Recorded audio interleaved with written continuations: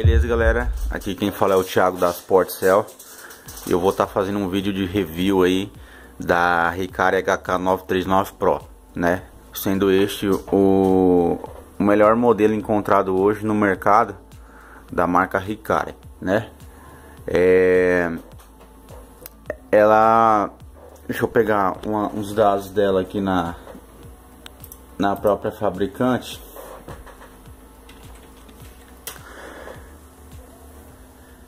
né? Mas só adiantando aí, ela é um modelo digital, né? É um modelo digital, tem 127 volts ou 220 volts, né? A temperatura dela vai de 100 ao mínimo até segundo a fabricante é, até 480 graus, mas na verdade vai até 499 e a potência dela é de 320 watts né? Controle de temperatura digital e vazão de ar máxima de 24, é, eu não sei se é libra, né? É 24 é L por minuto. Ela é uma uma estação bem silenciosa, né? Visto que a a bomba dela é selada, né? Vale lembrar aí que os quatro parafusos que vem embaixo dela, que é que quatro para quatro porcas, né? É, vermelha não tem necessidade de estar tá tirando, certo? É, visto que não encontrei nada relativo a isso no manual e nem nela nenhum aviso, porque normalmente vem um aviso, né? A 939 normal, se não me engano, tem que tirar, né? Ela tem um adesivo embaixo e tem que tirar. E isso eu tô dizendo porque em vídeo no YouTube que eu já encontrei sobre a 939 é, tem é, esse adesivo embaixo com as setinhas é, indicando que tem que tirar os parafusos. Nesse caso não precisa. Eu acabei ligando na assistência técnica da Unicoba, né, que é a responsável pela marca Ricari e responsável também pela revenda da, da marca Raco aqui no Brasil.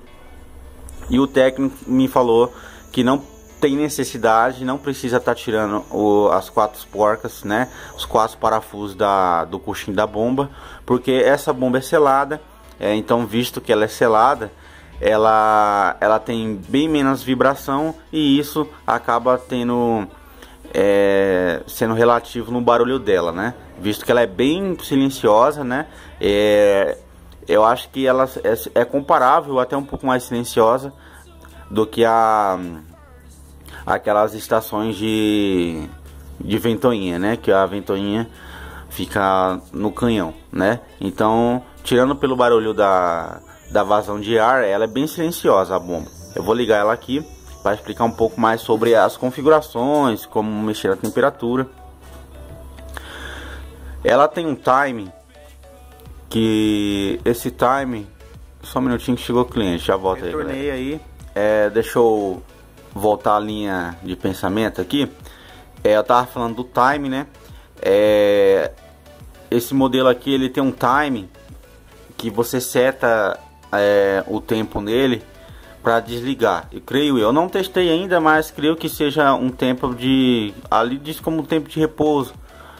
Mas eu creio que você seta aqui, dá para setar dois tempos, que é meia hora e 60 minutos, para creio que seja para ela se auto desligar. Então, quando você quiser setar o time, é, a temperatura tem que estar tá desligada, né? Não pode estar tá baixando aqui, não pode estar tá ligado o display né? Então a resistência tem que estar total, totalmente desligada. Segura os dois botões aqui para cima e para baixo e liga o power. Aparece esse seisinho, né, de, de Celsius. Aperta estrelinha e aqui você consegue setar 30 ou 60 minutos. Que 60 é só apertar a estrela e ele já vai estar tá memorizando essa configuração. Então, como eu não quero, vou deixar aqui ela está setada em 380 graus. Para mudar é só segurar estrelinha, né? O asterisco, aliás, né? Perdão, só segurar o asterisco e você consegue estar tá mudando, né? Vou mostrar aí que ela chega até 499. Até 499 ela chega. Mas apesar que, ó, ela chega até 499 mas ela não deixa ela não, não deixa você setar a configuração então como ali mostra só 480 480 ela já deixa. Né? Então vimos aí que, apesar de mostrar digitalmente aqui que chega a 499, ela não aceita essa configuração.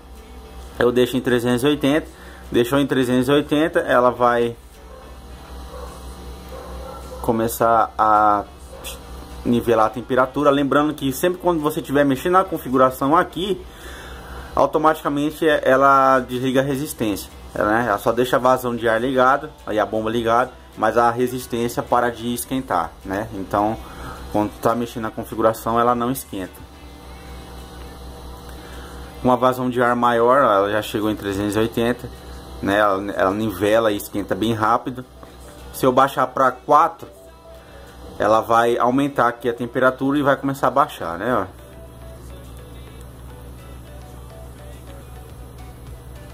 Como a vazão de ar é menor, ela acaba dando uma esquentada maior.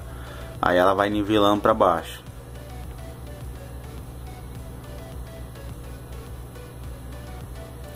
E se aumentar para 6, né, ela vai diminuir um pouco a temperatura e vai nivelar aumentando um pouco mais, quer ver?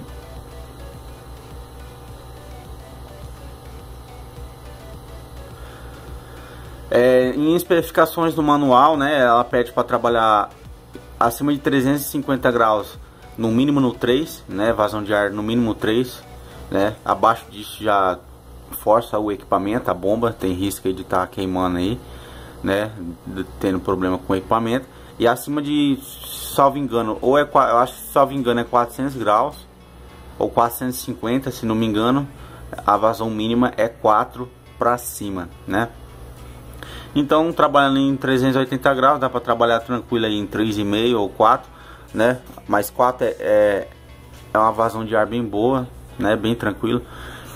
E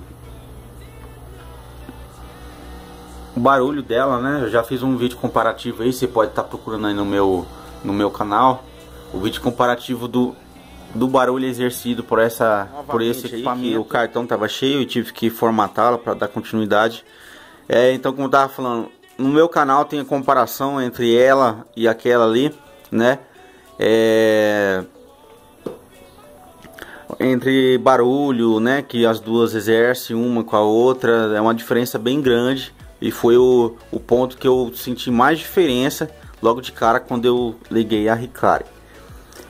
É, vale lembrar também uma coisa que ela não tem sensor, né? Ela não tem sensor aqui, tem algumas que quando você tira ela começa a trabalhar, mas também eu não acho tão relevante porque é, quando você for ligar a estação, você o ideal aí é você seta a temperatura, deixa a vazão do ar, de ar aqui no máximo, quando ela estiver chegando aí perto, você regula aí de acordo com o que você precisa. Desligou, joga a vazão de ar para o máximo também, porque Quanto mais é forte o vento passando ali na pelo canhão, mais rápido ele vai esfriar, né? É uma estação que que ela esquenta, ela chega na temperatura rápido e também faz o resfriamento bem rápido.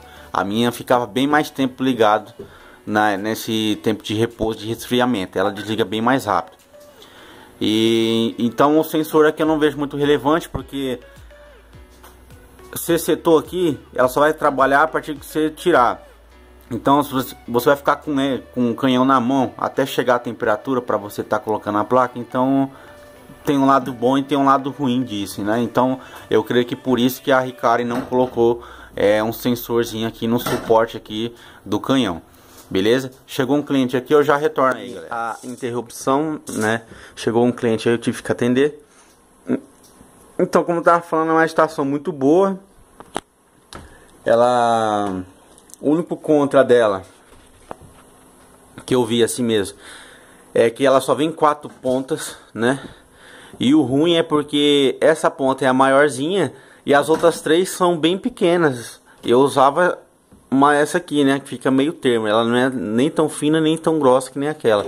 Mas não veio assim, é, vem bem mais fina que essa, três pontas mais finas e uma mais grossona. Então, tipo assim, lá mais fina dá um pulo grande, não tem um meio termo. Isso aí eu senti falta. Mas aí dá pra estar tá comprando é, fora a parte, né? É um pouquinho caro. É... A ponta dela custa à vista 80, 80 reais. 80 reais. Aqui, ó. Essas pontas aqui que dá para utilizar para alguns outros tipos de serviço, né? Essas mais redondinhas é, tem um custo aí de 40 reais, mais ou menos, né? E essas para BGA em torno de 60. É, aproveitando aqui também mostrar sobre a resistência dela, né? É, a resistência dela é, é a mesma da 850, né? Para 127 volts. Ela sai à vista aí 171 reais, né? Uma resistência aí da da Ricardo 939 Pro. É um preço até razoável, né? Pelo preço dela. E, e é isso.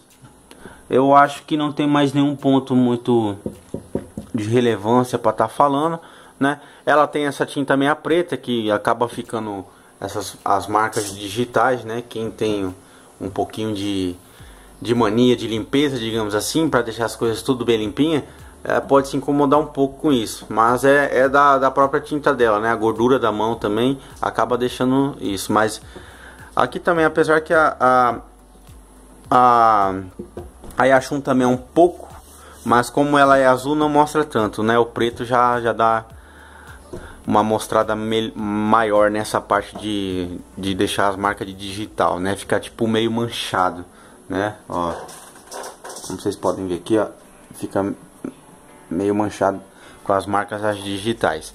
Mas é isso, galera. Tirando isso, a, a estação é muito boa, né? É, ela é uma excelente estação, né? A temperatura dela é rápida, né? Para chegar na temperatura setada, resfriamento é rápido. Ela, ela tem um, uma uma qualidade muito boa na questão de de precisão de temperatura e precisão de vazão de ar, né? Ela não oscila não oscila a temperatura muito, ela fica setada naquela que você colocou. É, que mais? O único negativo é as pontas, que né, eu senti falta de um, uma, pelo preço também, eu creio que deveria vir uma maior quantidade de pontas, né? Só vem quatro. Mas tirando isso, é excelente. Beleza, galera? Esse foi o review aí, um review básico da Ricari HK939 Pro. Ah, lembrando que ela é SD safe também, né? Nessa parte aí de de proteção ESD, né? E ela tem um aterramento na na ponta dela de ligar. Eu vou estar tá fazendo um review dessa aqui e falando um pouco mais dessa parte de SSD Safe também. Beleza, galera? Abraço.